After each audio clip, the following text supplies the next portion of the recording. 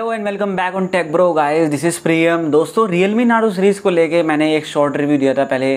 फिर मैंने एक फुल रिव्यू दिया था जब वो लॉन्च हो गए थे। और आज मैं आपके लिए लेकर आ गया हूँ रियलमी नार्जो टेन फ़ोन तो करेंगे इसकी आज अनबॉक्सिंग और देखते हैं क्या इसके अंदर कैसा है ये फ़ोन तो सबसे पहले इसकी अनबॉक्सिंग करते हुए मैं आपको दिखा देता हूँ क्या निकलता है इसके अंदर।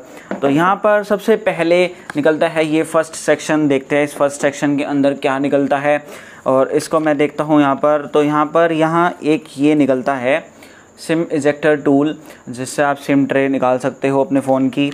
और साथ में निकलता है ये एक कवर फ़ोन के लिए। मज़बूत है फ़ोन की प्रोटेक्शन रखेगा और साथ में मिलता है कुछ आपके काम की चीज़। पढ़ लेना इसको। अब देखते हैं यहाँ पर सेकंड चीज़, यहाँ पर क्या निकलती है, यहाँ पर निकलता है ये फ़ोन इसके बारे में बात करेंगे बाद में। और यहाँ पर देखते हैं नीचे की साइड में यहाँ पर क्या मिलता है। यहाँ पर मिलती है हमें टाइप सी केबल और देखते हैं इसके अंदर कौन सा चार्जर निकलता है। यहाँ पर मिलता है ये 18 वोट का रियलमी की तरफ़ से आने वाला क्विक चार्ज सपोर्ट जिससे आपका रियलमी नार्जो 10 हो जाएगा। जल्दी से चार्ज और इन सब चीज़ों को रखते हैं, साइड में बात करते हैं इस मेन चीज़ की, जिसके लिए आप देख रहे हैं वीडियो, और हटाते हैं इसकी सारी प्रोटेक्शन को और देखते हैं कैसा है ये फ़ोन हटा देता हूँ इसकी सारी प्रोटेक्शन तो देखिए, ये है हमारा मी Narzo ten phone back side से इसकी लुक बहुत ज़्यादा सुंदर है, एकदम सेक्सी लुक है इसकी। और यहाँ पर ये जो बैक साइड में लुक है, ये लाइनिंग वाली लुक है, मैंने अपने रिव्यू में बताया भी था। आप देख सकते हो, ध्यान से देखना ये लाइनिंग वाली लुक को कितनी अच्छी कूल लुक लगती है।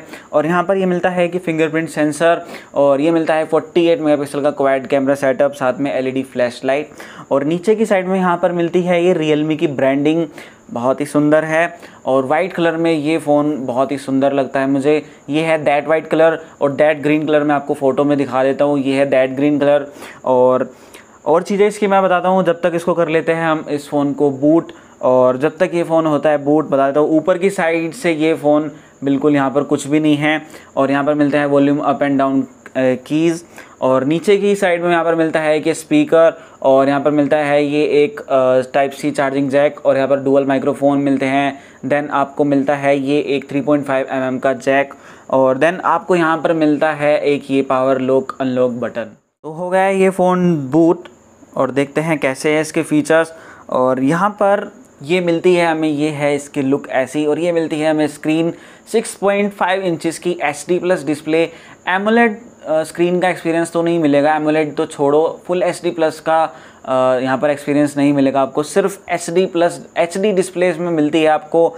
मिनी वाटर ड्रॉप नॉच के साथ जिसमें लगा हुआ है एक ए आई सेल्फी कैमरा और यहाँ पर आप नीचे से एच देख सकते हो। ये थोड़ी सी ज़्यादा है और और इसके फीचर्स बता देता हूँ। सबसे पहले बात करते हैं इसके कैमरा के बारे में। और जो ये है कैमरा यहाँ पर आपको मिलता है 48 मेगापिक्सल का प्राइमरी कैमरा देन आपको मिलता है 8 मेगापिक्सल का ultra wide angle camera plus आपको मिलता है 2 मेगापिक्सल का मैक्रो कैमरा प्लस 2 मेगापिक्सल का डेप्थ सेंसर और फ्रंट और ये मैं आपको कुछ सैम्पल्स दिखा देता हूँ। यहाँ पर ये मैंने नॉर्मल कैमरा से क्लिक करी फ़ोटो देन मैंने सिक्सटी मेगापिक्सल से क्लिक करी, अच्छी क्लैरिटी के साथ फ़ोटोज़ आई हैं. देन मैंने ये फ़ोटो क्लिक करी पोर्ट्रेट मोड से, बहुत ही अच्छे तरीके से इसने बैक साइड को. और यहाँ पर पैनो मोड और ये प्रो मोड मिल जाता है। स्लो मोशन में आप वीडियो बना सकते हो। इसमें अल्ट्रा मैक्रो मोड मिल जाता है और बहुत ही अच्छे अच्छे फीचर्स हैं इसमें। और वीडियो आप इसमें 1080p तक रिकॉर्ड कर सकते हो। 4K वीडियो रिकॉर्डिंग का सिस्टम इसमें नहीं मिलता। और बात करते हैं इसके फ्रंट कैमरास के बारे में। फ्रंट कैमरा इसमें मिलता है 16 मेगापिक्सल का एआई सेल्फी कैमरा यहाँ पर आप सुपर ब्राइट सेल्फीज़ क्लिक कर सकते हो। मैं आपको एक सैंपल दिखा देता हूँ। अब आप देख रहे होंगे यहाँ पर इसने कुछ बहुत ज़्यादा ही ब्राइटनेस ला दी मेरे फेस पे। इतनी भी ब्राइटनेस मुझे अच्छी नहीं लगती। और जो ये ब्राइटनेस लेकर आए हैं तो ये बहुत ही ज़्यादा है। तो मेरे हिसाब से इस फ़ोन की जो ब्राइटनेस है, वो कुछ ज़्यादा है। थोड़ी कम होनी चाहिए थी, वो ज़्यादा सही रहता। और और फीचर्स के बारे में बात करते हैं। इसके तो यहाँ पर मिलती है हमें 5000 थाउज़ेंड की बैटरी साथ में आपको मिलता है एटीन वोट का फास्ट चार्जिंग सपोर्ट जिससे आप अपने फ़ोन को जल्दी से चार्ज कर सकते हो। और प्रोसेसर इसमें मिलता है MediaTek Helio G eighty processor जो एक ठीक प्रोसेसर है ज़्यादा अच्छा प्रोसेसर तो है नहीं।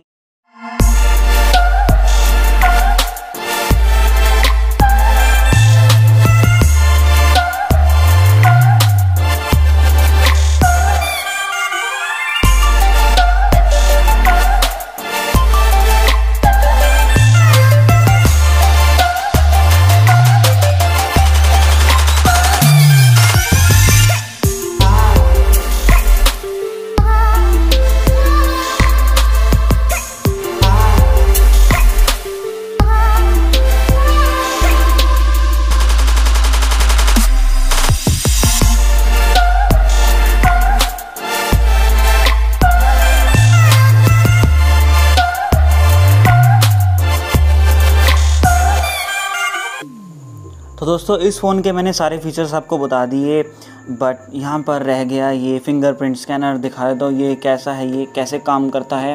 तो सबसे पहले इसको सेटअप कर लेते हैं। यहाँ पर हम जाएँगे सेटिंग्स में। देन हमें जाना है फिंगरप्रिंट फेस एंड पासवर्ड और ऐड फिंगरप्रिंट यहाँ पर ये थ्री सेकेंड्स का टाइम दिखा रहा है। देन मैंने कंटिन्यू किया और ये मैंने पासवर्ड डाल दिया। इसको मैंने वेरीफाई कर दिया यहाँ पर। देन मैं ऐड कर देता हूँ फिंगरप्रिंट सेंसर को। मैंने ये वाली फिंगर ऐड कर रहा हूँ मैं। और यहाँ पर ये ऐड हो गया।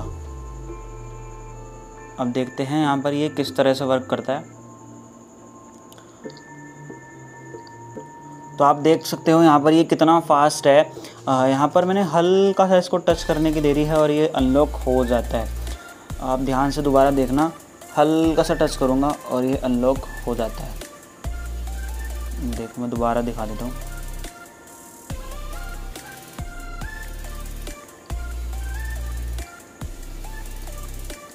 कितना फास्ट है ये अनलॉक तो मेरे हिसाब से ये फिंगरप्रिंट सेंसर बहुत ही अच्छा और बहुत ही ज़्यादा फास्ट है।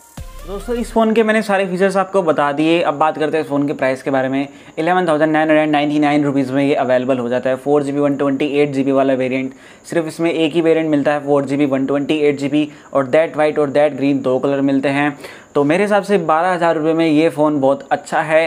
हालाँकि यहाँ पर कुछ लेटेस्ट फीचर्स नहीं मिलते, जैसे कि यहाँ पर आपको ये मिनी ड्रॉप नोच मिल रही है डोट नोच डिस्प्ले नहीं मिलती और यहाँ पर आपको ये वाला जो सेंसर है, ये बैक साइड में है इन बिल्ट या साइड माउंटेड फिंगरप्रिंट सेंसर नहीं है, ये होता तो थोड़ा लेटेस्ट रहता। तो ये सब चीज़ें, चीज़ों की इसमें कमी है। तो मेरे हिसाब से जो भी है, ये है एक phone Realme Narzo ten जो बारह हज़ार रुपये में अच्छा रहेगा आपके लिए।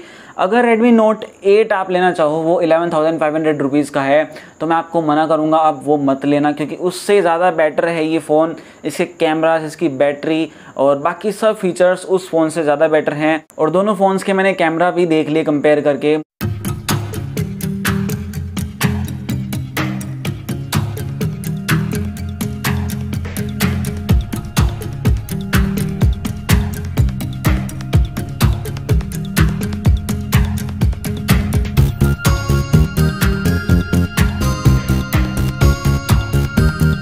रियल मी नार्जो टेन का कैमरा ज़्यादा बेस्ट लगा और ज़्यादा अच्छा फ़ोन है ज़्यादा सॉलिड फ़ोन है। वेट भी इसका 200 टू 210 ग्राम्स का है थोड़ा भारी है इससे आपको कॉम्प्रोमाइज़ करना पड़ेगा। तो कुल मिलाकर जो भी है ये कहानी है रियल मी नार्जो टेन की। आ, मेरी बारी तो हो गई अब आपकी बारी आ जाती है यहाँ पर। नीचे आप कर दीजिए कमेंट अच्छा सा।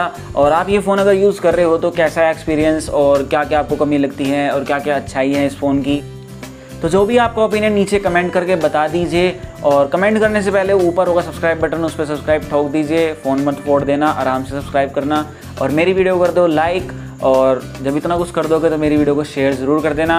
मेरे अगली वीडियो में कुछ धमाकेदार अपडेट के साथ। तब तक के लिए bye bye take care thanks for watching tech bro